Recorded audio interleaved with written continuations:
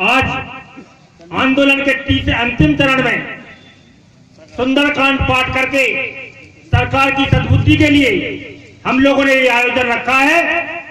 हमारी मांग शिक्षा विभाग में सम्मिलियन, यदि सरकार आज रात तक पूरा नहीं करती तो कल हम लोग तीन लाख अध्यापक भोपाल पहुंचकर सरकार की ईट से ईट बजा देंगे और शिक्षा विभाग लेकर रहेंगे।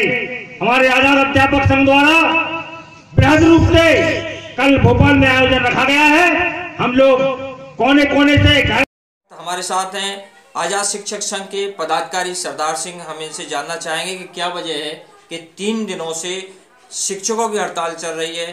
नेवाड़ी में सरदार जी बताएँ। हम लोग अध्यापक संवर्ग के लोग हैं और विगत कई वर्षों से शासन द्वारा हम लोगों को आश्वासन दिए जा रहे हैं, लेकिन हम लोगों की मांग पूरी नहीं की जा रही। हम लोगों की मांग मुख्य रूप से शिक्षा विभाग में सम्मिलियन, स्थानांतरण नीति और सातवां वेतनमान और हम लोग चाहते हैं कि मुख्यमंत्री महोदय शीघ्र ही हम लोगों के आदेश जारी करें, क्योंकि कई बार उन्होंने तारीखें दी, आश्वासन दिए, लेकिन अभी तक उन्होंने आदेश जारी नहीं किए। इसके उपलक्ष्य में हम लोगों ने विगत तीन दिवस से क्रम की भूख हड़ताल हर ब्लॉक स्तर पर मध्य प्रदेश के सभी अध्यापकों ने की है। 18, 19, 20 से आज हमारा अंतिम दिन था। इसमें अंतिम दिन में हम लोगों ने सुंदरकांड का पाठ भी कराया है जिससे कि सिर्फ़ शिवराज सिंह सरकार को सदबुद्धि दे भगवान और वो हम लोगों के शीघ्र आदेश जारी करें। क्या वजह है? आपकी जो हड़ताल चल रही है?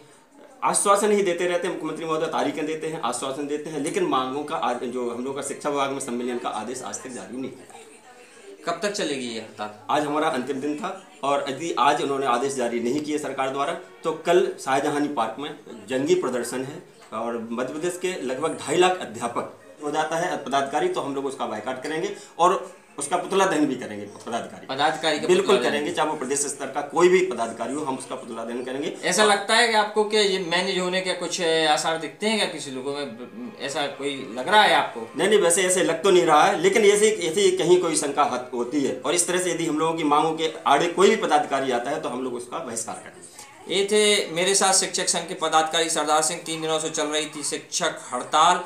में मांगों को लेकर जंगी प्रदर्शन भोपाल में करेंगे। ये बात कही जा रही है। अब देखना ये होगा कि सरकार कब तक इन शिक्षकों की मांग मानेगी और ये हड़ताल बंद होगी।